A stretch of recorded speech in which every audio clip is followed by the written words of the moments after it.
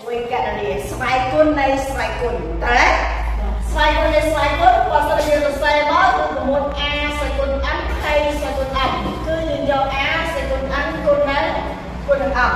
ចឹងណាស្វ័យគុណនៃស្វ័យគុណអញ្ចឹង10ស្វ័យគុណ3ហើយស្វ័យគុណ2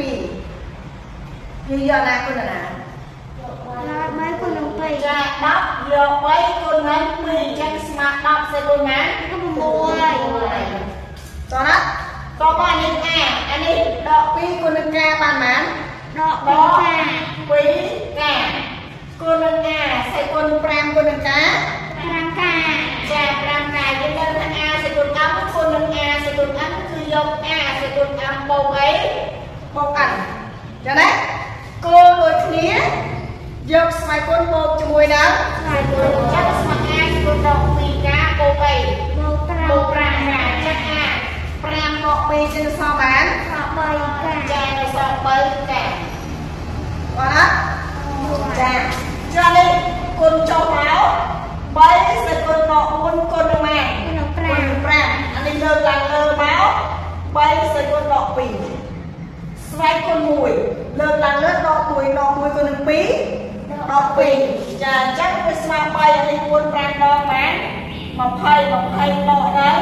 2ទៀតអញ្ចឹងណាចឹងវាស្មើនឹង3សេគុណដល់អីដល់22ចឹងយើងអាចទម្លាក់វាចុះក្រោមក៏បានដែរគឺស្មើនឹង1នៅលើ3សេគុណ 20 22តោះណាចាកន្លែងនេះយើងប្រើថា a សេគុណដល់ n គឺស្មើ1នៅលើ a ស្វ័យគុណ n ចាចឹងបើស្វ័យគុណដល់យើងទម្លាក់ទៅក្រោមស្វ័យគុណបូក2អញ្ចឹងណាចាចុះនេះ a សេគុណបាន3អានេះ3គុណនឹងដក2ចិត្ត a ស្វ័យគុណបានដក6គុណនឹង a ស្វ័យគុណបានទៀត15 3ដងម៉ែត្រ